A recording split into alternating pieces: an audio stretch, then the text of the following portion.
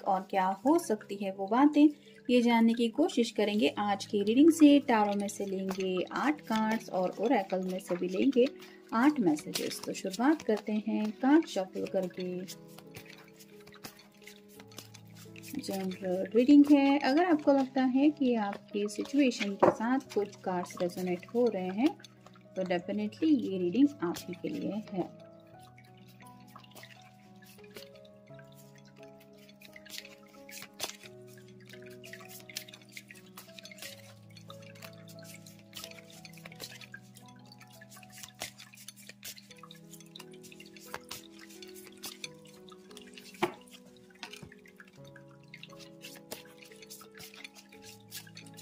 ये गॉडेस लो ओरेकल देखें।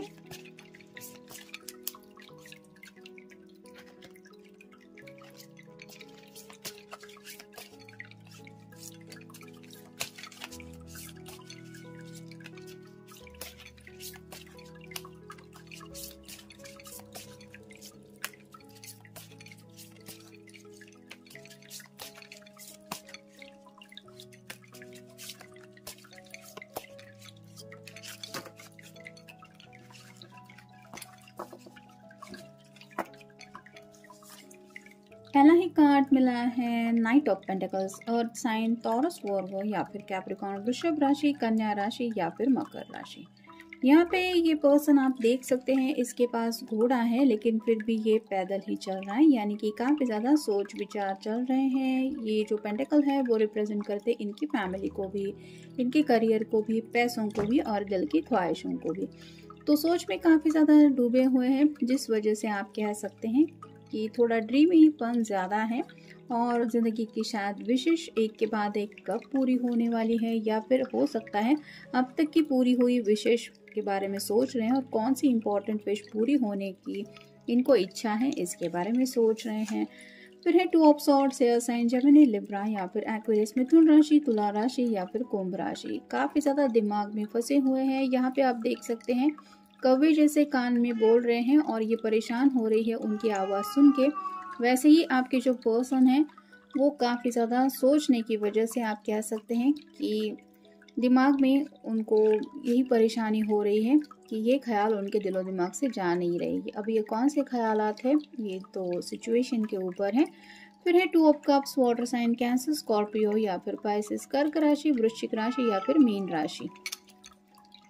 To of cup की एनर्जी आई है, इसका मतलब रोमांटिक थॉट्स तो है ही, और कहीं ना कहीं आपके साथ वक्त बिताने के बारे में भी इनके दिलो दिमाग में कुछ चल रहा है।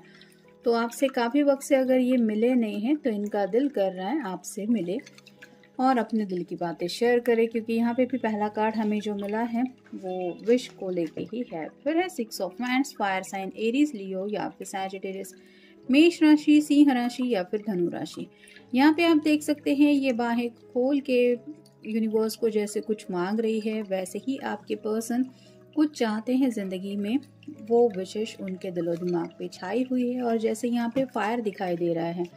तो उन्हीं बातों की वजह से आप कह सकते हैं कि इनको चैन, सुकून राइट नाउ तो बिल्कुल भी फील नहीं और और कहीं ना कहीं ये फायर इंडिकेट करता है इनके पैशन को भी। तो आपको लेके काफ़ी ज़्यादा पैशनेट थाट्स भी है।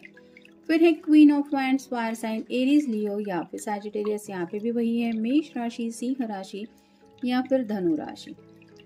यहाँ पे तो इसके हाथ में फायर है, लेकिन फिर भी ये खुश हैं। वैसे ही आपके जो पर्सन हैं, वो काफ़ी ज़्यादा ख्यालों में खोए होने की वजह से अपनी पैशन को लेके एक्साइटेड है। मतलब जब आप दोनों एक दूसरे के साथ वक्त बिताएँगे या फिर मिलेंगे, तब वो लम्हा कितना खूबसूरत होगा, ये सोच के ही शायद इनको एक अलग ही तरह का एक्साइटमेंट फील हो रहा है। और काफ़ी ज़्यादा जैसे हमने पहले ही कार्ड में देखा इमेजिनेशन में खोए हुए हैं, जिस वजह से और भी ज़्यादा रोमांटिक ख्याल इनके दिलो दिमाग में आ रहे हैं।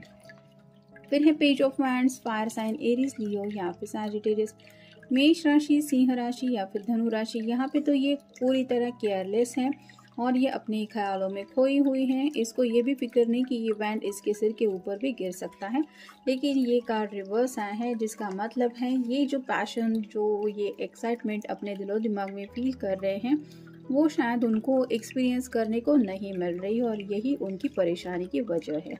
यानी कि कहीं ना कहीं आप कह सकते हैं कि पैशनेटली इस रिश्ते में आगे बढ़ना चाहते हैं।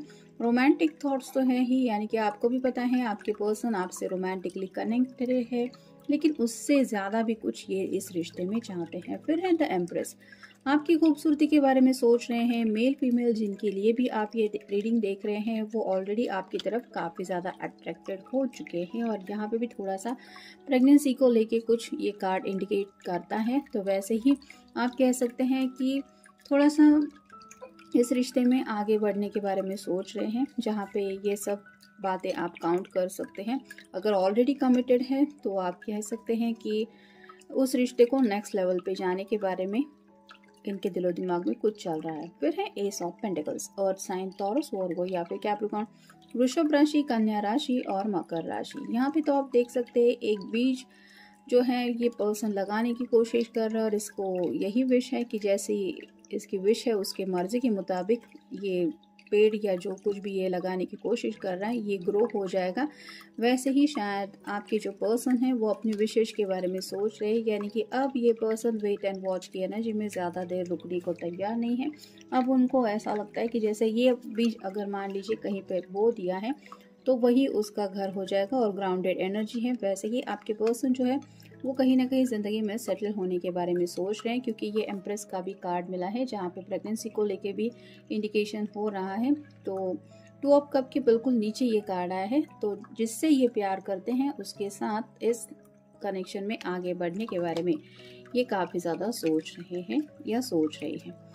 अब देखते हैं बाकी के कार्ड्स क्या बताते हैं। Bliss open your door to the divine तो जैसे यहाँ पे इस कार्ड में भी हमने देखा, ये यूनिवर्स से दोनों बाहें फैला के कुछ मांग रहे हैं। वैसे ही यहाँ पे भी यही पर्सन ऐसे ही कर रहा है। तो डिवाइन से प्रेयर्स की जा रही है और अपनी खुशियों की शायद डिमांड कर रहे हैं ये पर्सन मतलब यूनिवर्स को कह रहे हैं कि मुझे अब मेरी खुशियों का दरवाज़ा आप ही ओपन करके दे दीजिए, क्योंकि काफ़ी ज़्यादा शायद हो सकता है इस पर्सन ने यूनिवर्स पे यकीन रखते हुए वेट एंड वॉच की एनर्जी में इंतज़ार किया है।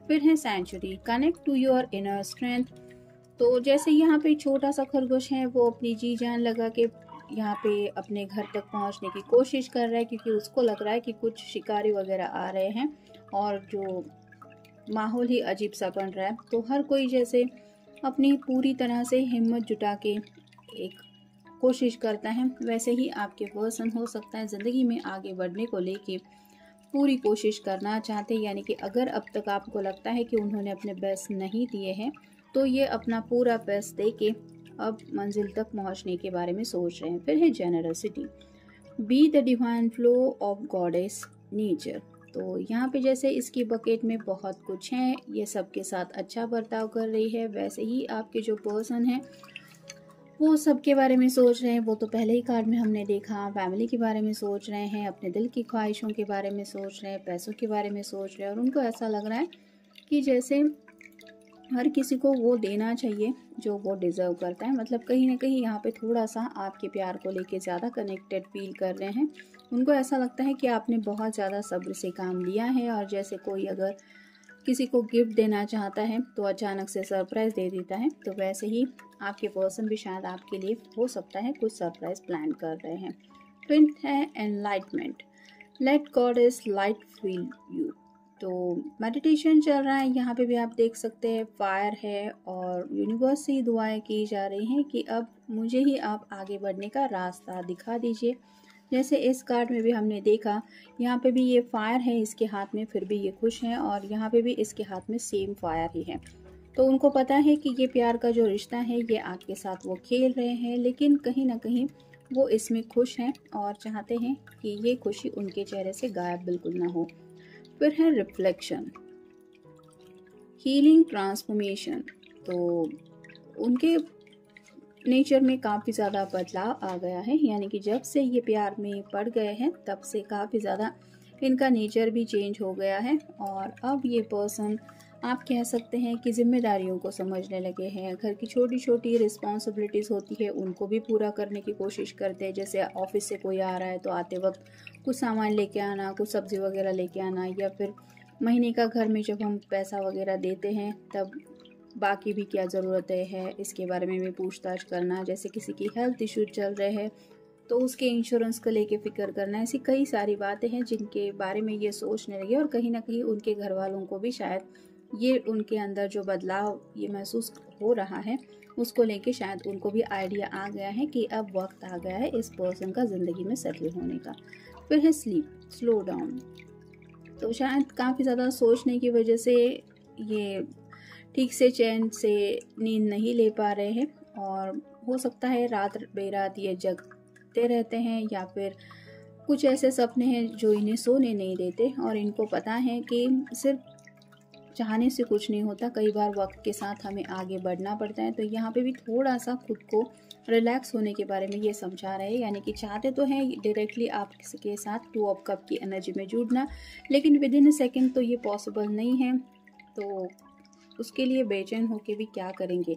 ये खुद को समझा रहे हैं। फिर है awakening live in the moment तो अवेकनिंग प्रोसेस हो रही है और प्रेजेंट में जीने की कोशिश कर रहे हैं, जहाँ पे ऑब्वियसली आपको काफ़ी ज़्यादा मिस किया जा रहा है कि यहाँ पे भी इसके हाथ में आप देख सकते हैं फायर है। तो पैशनेटली बहुत ज़्यादा है, जिस वजह से आपकी याद काफ़ी ज़्यादा आ रही है और फाइनल कार्ड है hope out of darkness comes light तो उन्हें उम्मीद है कि जिस दिशा में वो आगे बढ़ चले हैं, यानी कि यहाँ पे भी हमने जैसे देखा कि इसको पता है कि जो लाइट्स यहाँ पे उसके ऊपर आ रही है, वो उसको सही रास्ते पे ले जाएगी। वैसे ही आपके पर्सन को भी पता है, या फिर उनको उम्मीद है कि भले ही राइट ना कुछ प्रॉब्लम चल रहे हैं, कुछ दिक्कतें चल रही है किसी किसी के छोटे मोटे मसले चल रहे हैं, लेकिन ज़रूर आप दोनों उस लाइट तक पहुँच जाएँगे जहाँ पे आप दोनों उस टू ऑफ़ कप की एनर्जी में एक दूसरे से जुड़ जाएँगे।